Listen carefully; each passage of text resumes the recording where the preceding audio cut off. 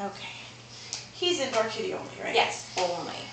Okay, I'll We wait for do Tash to come back out. and then we'll vaccinate. He's terrified of outdoors. He fell out of a tree he was a baby, so that's how we got How him. traumatic. Yeah, he was three days old, so, and now he's a moose. Okay.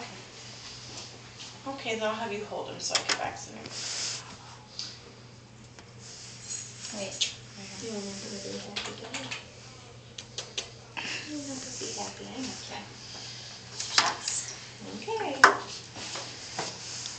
Okay, mister. You're gonna be skinny Winnie next time you see us. It's okay, it's okay.